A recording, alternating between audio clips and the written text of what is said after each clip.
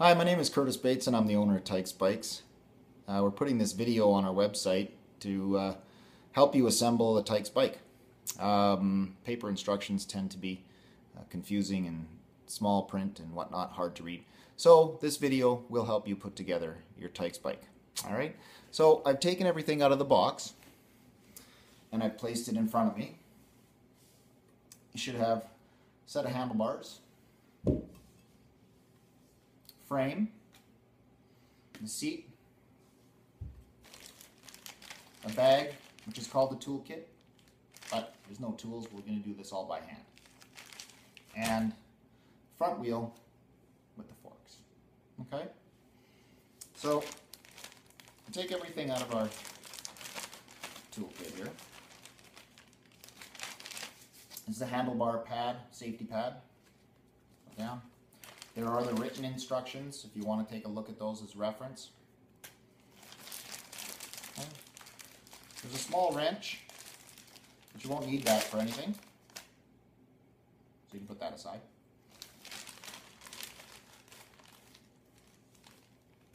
There's also two quick releases.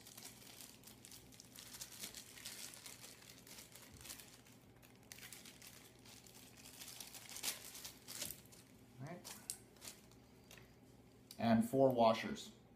Two of the washers are small, like a little flange or a spacer, and the other two are larger, and we'll show you how this works.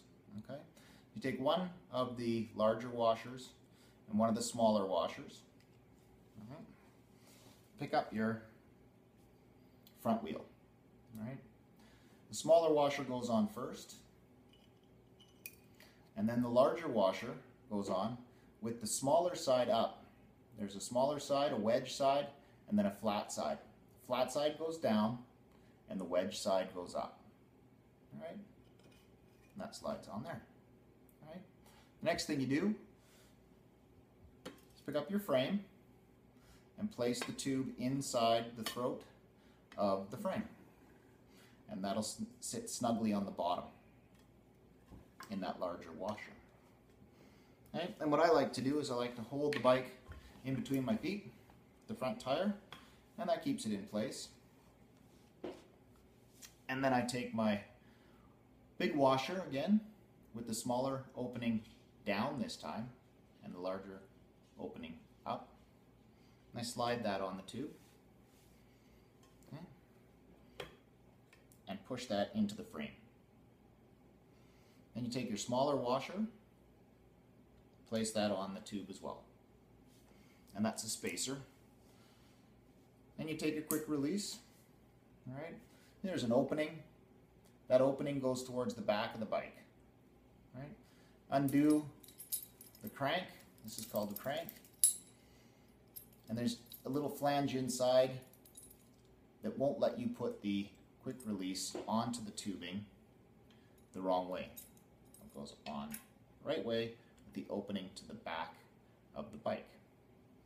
Then we can twist this little nut. Just hand tighten it. All right.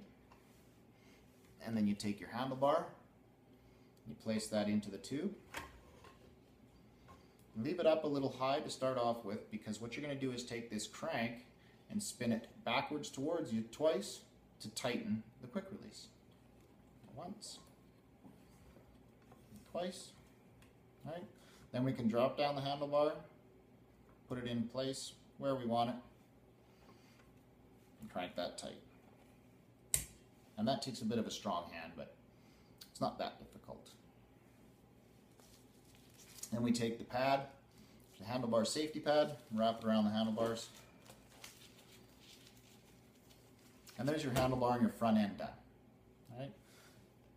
Now we got to do the seat. Basically move the bike a little closer to you so you can reach the seat and pull that out. Right. Put it on the ground. And you want to open up the quick release again. Right. And with that open part towards the back tire again, place it on the seat tube. Right? And that sits on there. And then we want to hand tighten that as well. Best we can. Doesn't have to be that tight. And then you take your seat, put it into this tube, but again, leave enough room because we're going to crank this quick release backwards again towards us to tighten it. Once, twice, line it up. Then we can drop our seat in place to where we want to size our child. And when you're sizing your child, you want the seat in their crotch with both feet on either side of the bike flat, not up on their tippy toes and not with their knees bent down low onto the bike. Okay? And then you crank that tight, and there you have it. Your Tykes bike is put together. If you have any questions or concerns, you can call our toll free number at 1 855 648 2453. Again, that number is 1 855 648 2453. We know you're going to enjoy uh, watching your child learn to ride on a Tykes bike. Take care.